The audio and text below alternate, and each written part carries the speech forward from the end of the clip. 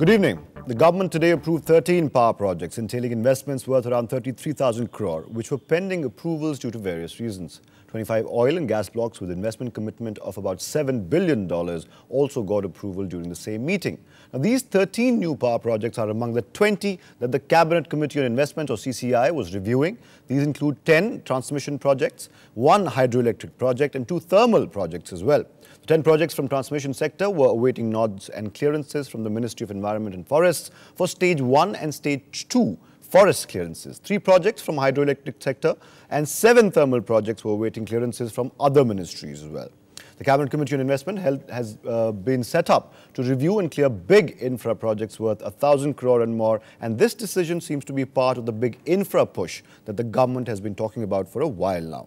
Tonight on the big picture, however, we will concentrate only on the power sector. Even though these proposals have been cleared, a question mark remains on the viability of these new projects. And at the cost of sounding pessimistic, we will raise some more questions pertaining not just to these 13 power projects, but the sentiment in the power sector as a whole. The issues in the power sector are well known and are not new. We've spoken about on this very program about the state electricity board reforms, about shortage of coal and gas, about flawed bidding frameworks, what have you.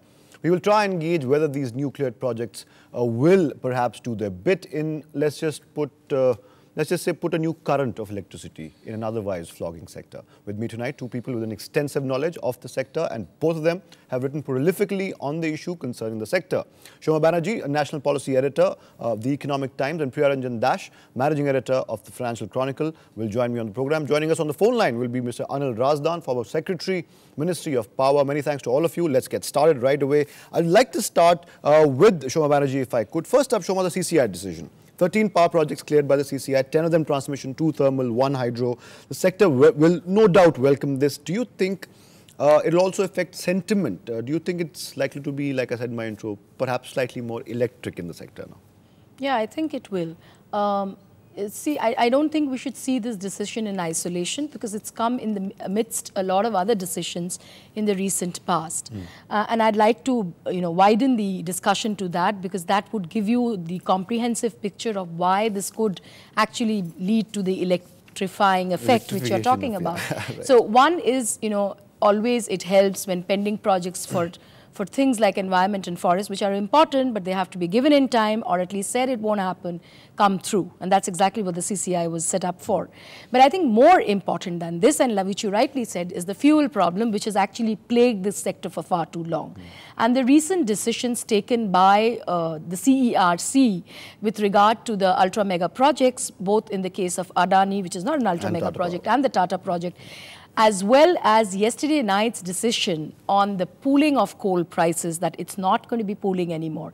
I think they are big fillips because they give you this, the indicator of how prices are going to move forward. You're talking for the first time of real prices being passed through, which was supposed to be initially the policy, but we deferred on it. We did not toe the line on hmm. it. First time I think the government is talking of the fact that fuel prices will have to be passed through and therefore to get fuel, if you don't have it domestically, you have to import it and you have to pay a price. Bad news for consumers because you will start paying the right prices. Good news for the industry and very good news for investors as well as banks, remember, we, who are lending largely. I want to talk about uh, the, the passing on of the price to the consumer, but that a little later in the program. I want to come to Mr. Dash right now. Do you agree with Shoma? Uh, obviously, it's a, it's a fillip for the sector right now. Uh, Absolutely, uh, but, but yes. yeah, your comment. More so because of the 13, as you mentioned, 10 are transmission projects and uh, you know, it's, it's not just the generating projects which are important, but the transmission projects are important because unless you have evacuation of power, mm. then uh, there is, you know, the generation projects too would sure. get delayed. And these 10 projects, since they are transmission projects, they are not really uh, you know, uh, the, their fuel linkage is not an issue there. Mm, mm. Issue there has been forest clearance, right. basically. Mm. And uh, you see, uh, as, as, such, transmission projects are not uh, that environmentally disruptive as uh, some of the other projects, for instance, the mining projects. Mm. Coal mining projects, for instance, could be far more detrimental. Yes, yeah. far more detrimental. Yeah. And uh, so it's a, it's a happy augury that uh, you have had these train transmission projects cleared. Mm. And, uh, uh, and, you know, of the generation projects, however, There are just two of them, thermal projects which have been cleared, and a hydro project. One hydro project, yeah. So uh, there are still there are a lot of issues, and we know that a lot of projects. This is this is going to uh, now free up investment of some 30,000 crore rupees. right, right. These these projects, but uh, there are several other projects uh, which are in the pipeline, and uh, Seven with the CCI where- itself, right Where fuel is a major issue, and as you were mentioning, some of the projects which have had uh, financial closure, uh, but haven't been able to take off, they are taking the financial system also along with them down the And- and down that's- that's a big So loophole there, If in- in the sense projects keep hole uh, yeah, if projects keep uh, moving, then of course that's good news. Sure. I want to go uh, to Mr. Anand Razdan, who's joined us on the phone. Uh, many thanks, sir, for joining us. Uh, your comments and your thoughts, first thoughts on these power projects being cleared. 13 of them have, have, be- have been cleared by the CCI.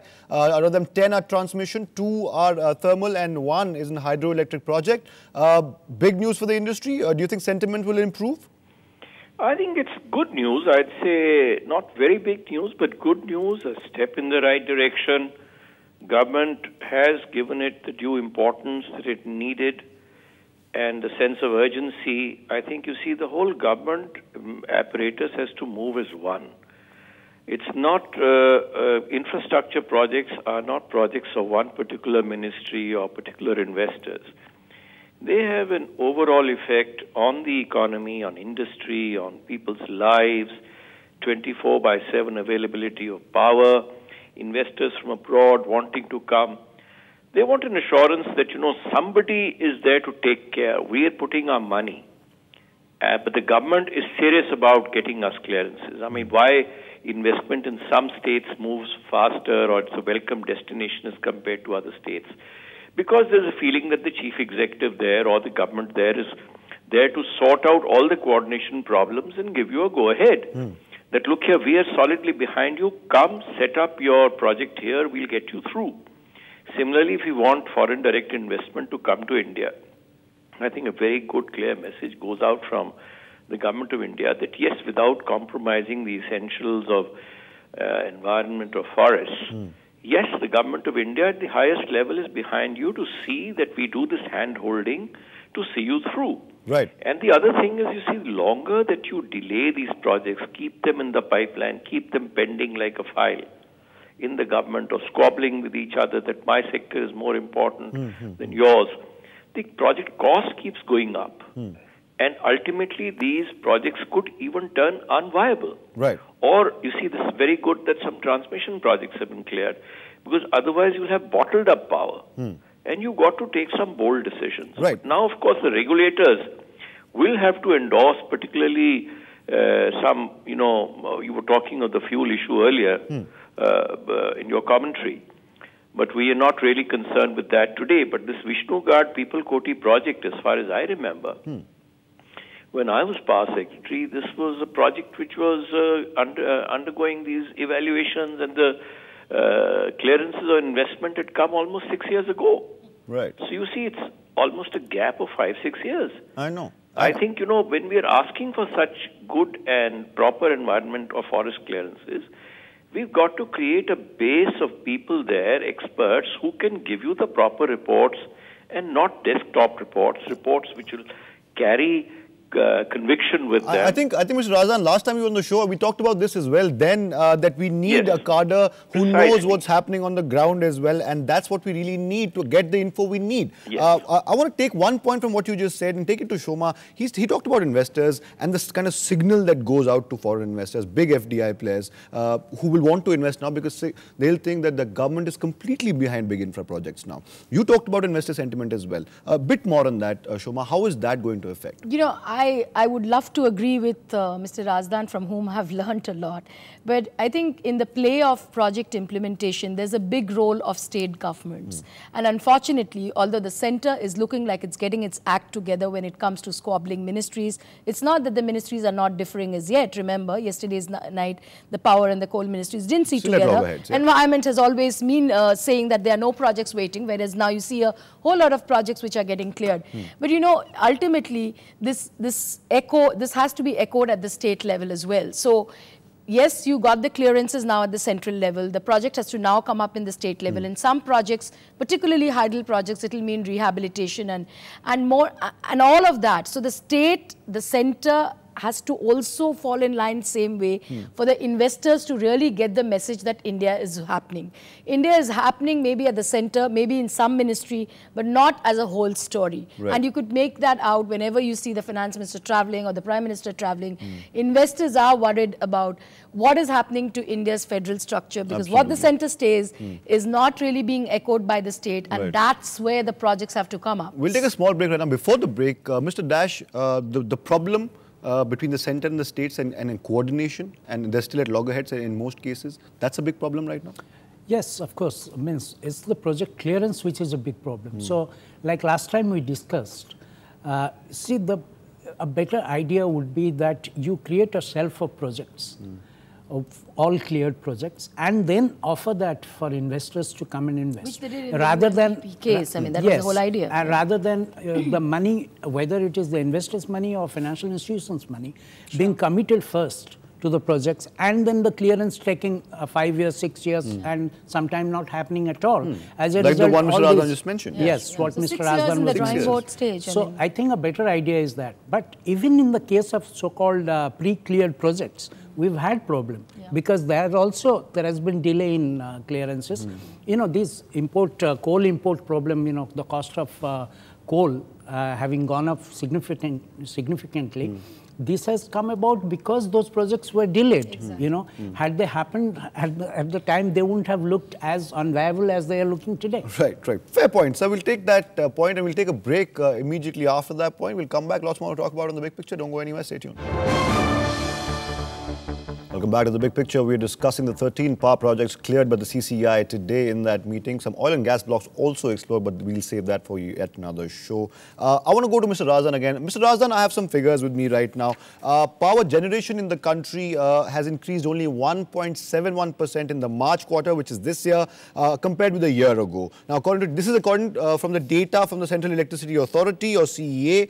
This apparently is the worst performance in the last eight quarters, despite capacity increasing 10% from a year ago. Now, not keeping the problems of distribution, uh, tariff collection and capacity in India in mind, uh, in your opinion, do you think the next five years or however long it takes for these particular projects to start generating electricity, uh, even after that, the generation capacity, you think that will be increased uh, due to these projects and help us reach, reach our potential, which is far higher?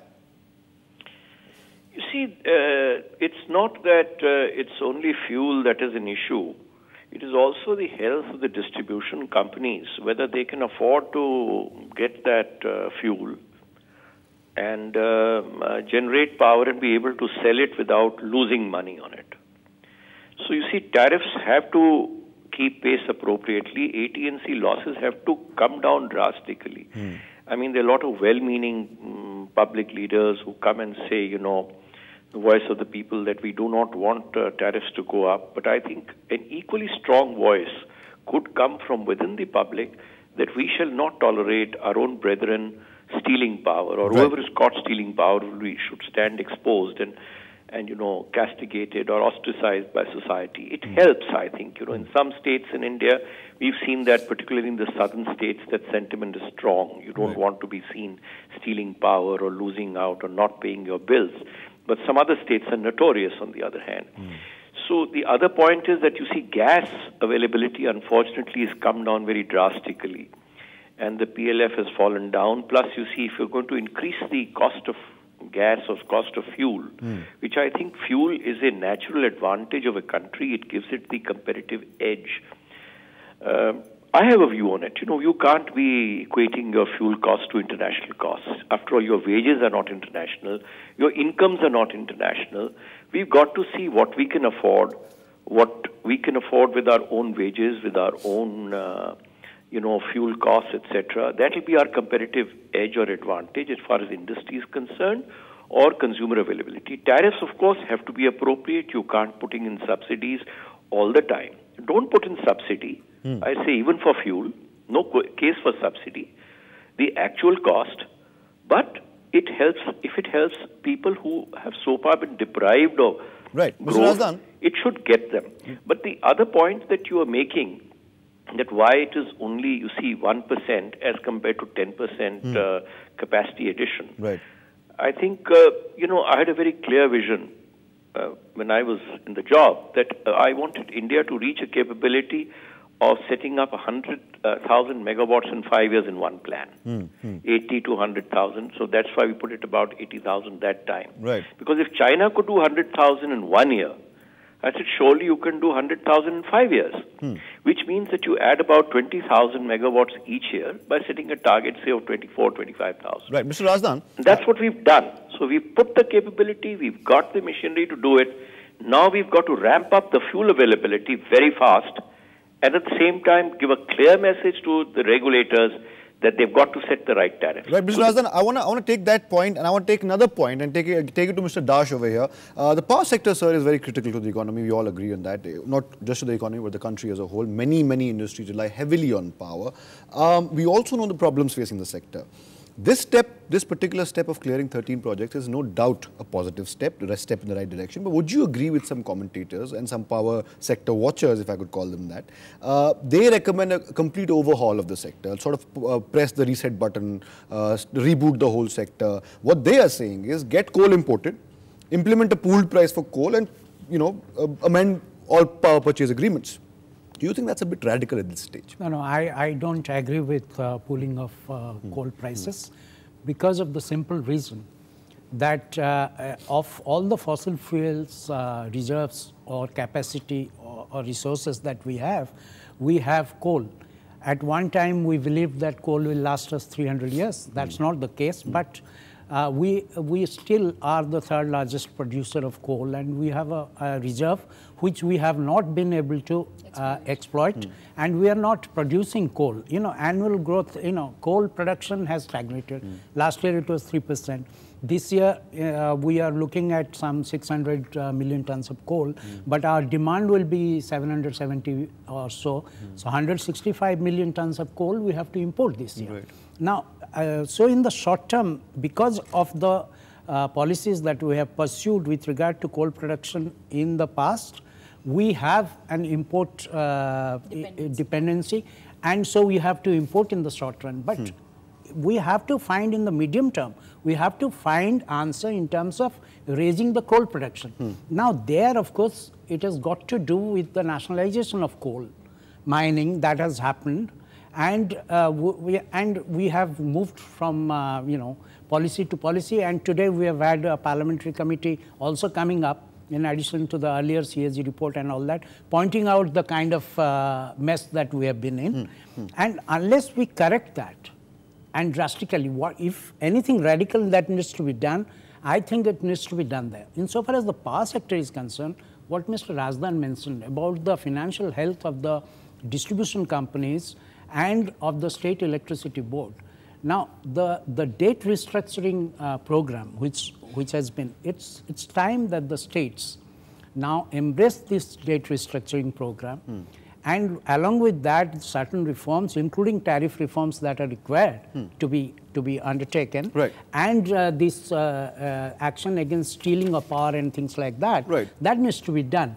So that that is very important but most important is to find an answer to this coal problem that we have had Right. Uh, uh, Shoma, uh, despite so many problems, uh, I read a survey in a business paper today itself, and that said that the recent uh, not to increase electricity tariffs uh, for consumers will restore investor confidence, um, investor interest in the sector. Now, that means a bigger a bigger burden on the consumers. We talked about that earlier as well. Uh, is that a cost that we, sh- we will have to pay to save our power sector? Of Pass it on to the. I mean, it's, it's a cost you have to pay to save the economy, to save the country. India has got far too used to free lunches or subsidized lunches, which we can ill afford. Uh, I in, mean, in almost every sector. in almost every sector and, and something which you can't pay for anymore.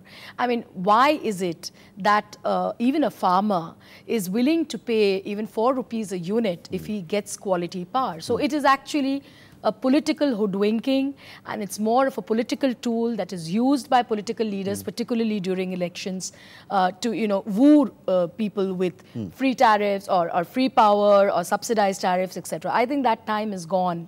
The time is to pay the basic utility charges Right. that you have to pay for fuel and and what I think what uh, Dash mentioned, and that's very, very important, is that the radical changes have to come into the fuel sector. Right, the right. radical changes, and I think the power sector has more or less in the last 20 years got its act together, knows the distribution sector is the weak link, and they are working on that. But I just want to add one small thing on the SEB restructuring because that is a big issue you know, at the end of the day, I feel being a good fellow, actually, you get cheated. Because, you know, you've been a bad guy, you've not paid up your dues, you've done nothing, and you're going to get this waiver now, and you don't have to pay up those dues. So, until and unless it comes with a rider, like you did for the JNNURM case, etc., that you ought to do this, only then you get this waiver, it shouldn't be given. I mean, this is not money doling out just like that. Right, right. And what do I get by being a good SEB who's actually collected tariffs or revised Stop the tariffs? free lunches, Yeah, basically. I mean, Stop you the just, there's no way but do that. Yeah. Stop the free lunches. We'll take another short break right now. We'll talk a bit more about the coal problem that Mr. Razdan and my other two uh, guests did mention right now. The coal problem, of course, very, very critical to the power sector. We'll talk about that after the break. Don't go anywhere. Welcome back to the big picture. Mr. Anil Razdan is still with us on the phone line. Uh, sir, India has a power generation capacity of around 2 to 3, uh, 22, uh, 223,343, pardon me, megawatts. Of this, 130,000, around 130,000 megawatts is coal-based. Now, along with the problems in the power sector, the shortage of coal is also hampering power generation, and we all agree it is the most critical problem in that particular sector. Pool pricing is out of the window now, if I quote a government official. If not pool pricing, what is the other option? Well, I think first of all, I may just tell you that uh, the power generating capacity is in fact more than that. Right. Because this is grid connected power. Now, there are captive power units also, and I think in the last plan we did give them coal linkages, and some of them are maybe about 12 to 14,000 megawatts came up in that process. Be that as it may, I think uh, one thing you see we have to understand that uh, we've got to ramp up the coal availability substantially. Single digit, etc., growth will not go. We have to look at about 10% or something at least uh, ramping up capacities. But along with that, we will need to take a very serious look at what the railways are able to provide for movement of coal across the country. There is some mines, you see, where coal can move, but the rail uh, availability is not there, the wagon availability. Right. Those tracks have to be cleared. Some of them are coming through the forest areas. Again, they'll have to come through environment forests. But the same degree of urgency which we have shown here in some of these clearances, I think the CCI will have to clear some of those rail projects very fast Right. and put them on very fast track mode because there's no point in mining coal and uh, piling it it. up at those mines because even now you see we probably have about 70 million tons ostensibly piled up at the collieries. Right, right. Uh, uh, All right, this sir. must move. Right, right, So, and here you see, if you've got to ramp up these capacities, you probably have to move out of the old mode of manual uh, shoveling and uh, employing labor. You've got to go into mech- uh, mechanization and probably go in for MDOs, as I've seen, mine development operators, world class operators coming through on tenders and offering to do the job not at the highest cost, but at the L1. P- Point taken, sir. Point taken. Yeah. Mr. Dash, um, you think uh, pool pricing out of the window, uh, good decision? Yes, because I, you see, of the uh, total capacity, thermal cap- uh, coal-based capacity that you mentioned, I think uh, uh, around 65,000 65,000 megawatt is uh, our, our capacity which were which were commissioned before 2009. Now there is no logic as to why we should be putting those uh, power plants into this kind of a pool pricing when they have had a settled uh, coal linkage and they were commissioned before 2009. So after 2009, if you look at it, there is there is uh, another class of say 36,000 megawatt, hmm. which is which is there, and then then you have another say um, 25,000 to 30,000 megawatt, which are in the process of coming up. Right, right. But but Now- you do agree with the fact that the pool pricing option was not See, very well. I don't fundamentally. I, hmm. I think that coal is a domestic fuel, hmm, and we have to find, uh, you know, mine it here and produce it and feed it to our power plants. Fair, fair point, sir. That is that is in the short term. If you have to import coal because of the poor policies that you have pursued in the past, you have to bear that cost, additional cost, and those power plants which are based on imported coal mm. have to reflect I that point, in the sir. tariff. I take your point. Let's wrap this up, Shoma. Uh, what is what is the outlook for the power sector in the near to medium term? Well, in the medium term, it not it, much time. Yeah, not much yeah. time. In the medium term looks okay, but in the near term, uh, I think. Um, coal remains the big issue. Biggest issue. The biggest step I see in, in all these decisions is when you say that you're going to pass on actual fuel cost to the tariff. Mm. Because that is what is going to make the difference. Mm. So whether it's imported coal, whether it's domestic coal, imported gas or domestic gas, whatever is the cost of the fuel will be passed on on actual basis to the tariff. Right. As long as that is done, I don't think there's a problem. Absolutely. And if the government can go ahead and do that, if regulators can do that, and most importantly, politicians can do that, then we have a lot of hope. And we won't have secretaries like Mr. Razdan dreaming the same dream all over again, but right. things not On happening. that note, I must conclude the show. I must thank, no, I must thank, sir, I'm out of time, sir. Perhaps another show. I'll just, I, I like to just uh, put in one point to what Shoma said that we need also, you see, the gas sector has let us down very badly. Right, right. We need to ramp up gas production Absolutely. also. Point I taken, sir. at least has not gone down. Point taken, sir. I have to wrap up now. No more yeah. time, sir. No more time. Thank I must you. thank Anil Razdan as well as Shoma Banerjee and Mr. Priyaranjan Dash for joining me on the show tonight. Coal remains the critical problem in that sector. Shoma thinks power sector in the last 20 years has perhaps got its act together, but tariffs will be increased and that is something we need, something we'll have to bear in case we want to save not just the power sector, but the economy. Athar Khan saying goodbye, good night and thank you for watching The Big Picture. Ketchup。